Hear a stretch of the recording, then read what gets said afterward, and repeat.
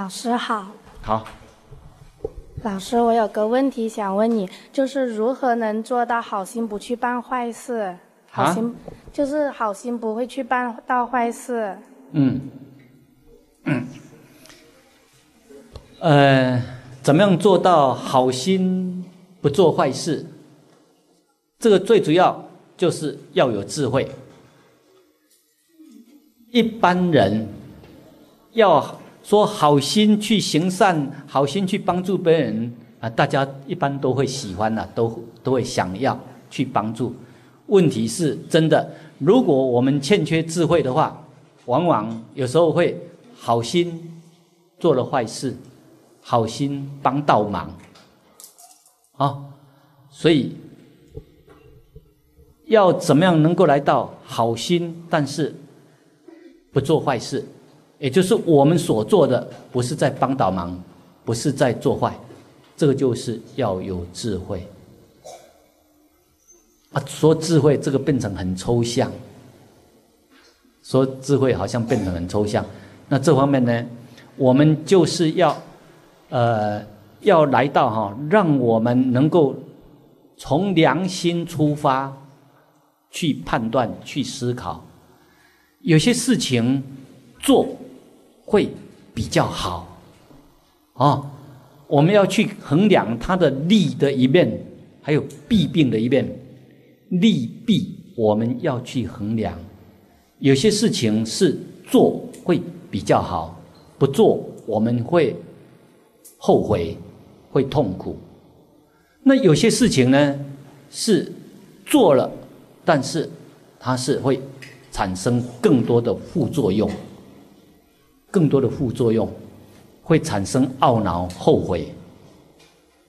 包括我们要帮助别人，也是一样。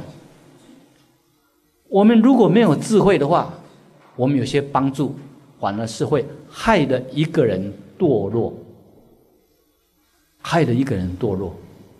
哦，就比如说有些呃。有些父母亲很疼爱小孩子，很疼爱小孩子，那舍不得小孩子做家务事。当小孩子要扫地，就就觉得，哎呀，我的宝贝啊，啊，你不用扫了，你赶快去读书了，啊，你赶快读书就好。这个，呃，让妈妈来扫，让爸爸来做，让女佣来做。表面上好像是很慈悲、很疼爱这个小孩子，但是呢，却让这个小孩子。渐渐养成不做家务事，渐渐养成懈怠、懒惰。哦，所以溺爱、溺爱事实上是害小孩子不容易成长。溺爱让小孩子延缓迟滞成长，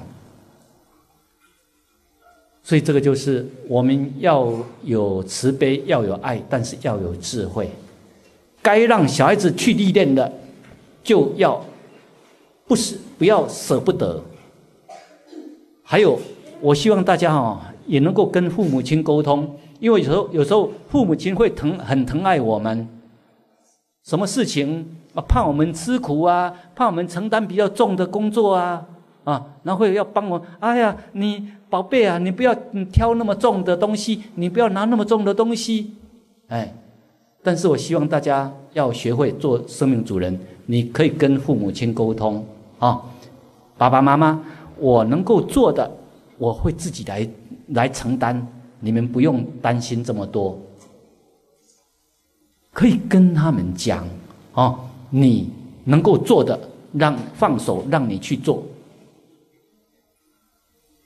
所以这个就是要有智慧，要去沟通，好，OK。